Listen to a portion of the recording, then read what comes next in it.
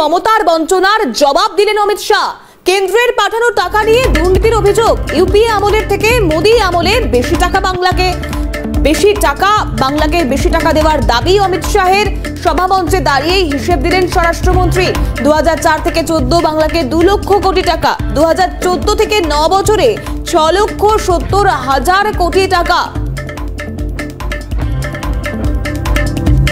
মুখ্যমন্ত্রী হয়ে সরকারের সমর্থন করেছিলেন মমতা ইউপিএ সরকার চোদ্দ হাজার কোটি টাকা দিয়েছিল মোদী সরকার ছাপ্পান্ন হাজার চুয়ান্ন কোটি টাকা দিয়েছে কি বললেন অমিত শাহ দেখুন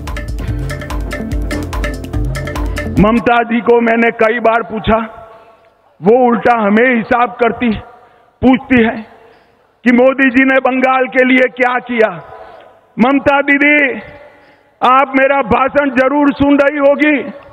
मैं हिसाब लेकर आया हूँ। कान खोलकर सुन लीजिए, हिसाब लेकर आया हूँ। जिस सरकार में आप मंत्री रही, यूपीए सरकार, जिस सरकार को आपने समर्थन किया, उसने 2004 से 14 में बंगाल को क्या दिया? ग्रांट इन एड और डिवोल्यूशन का सिर्फ़ दो लाख करोड़ रुपया दिया।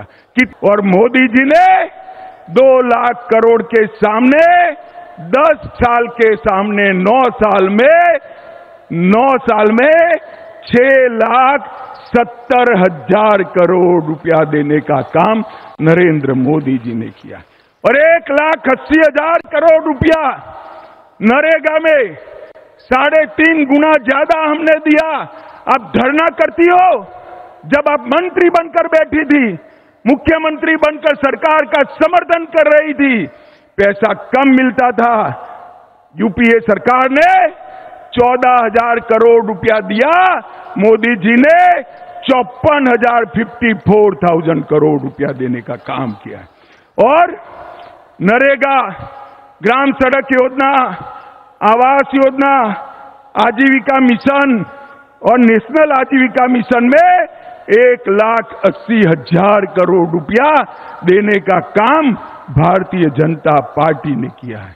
और नेशनल हाईवे के लिए टोटल सत्तर हज़ार करोड़, लगभग लगभग सोलह हज़ार करोड़ रेलवे में बंदरगाह में एक हज़ार करोड़ सिंचाई के लिए तीन हज़ार करोड़, कुल मिलाकर आपके दो लाख करोड़ के सामने भारतीय जनता पार्टी ने आठ लाख करोड़ से ज़्यादा रुपया देने का काम भारतीय जनता पार्टी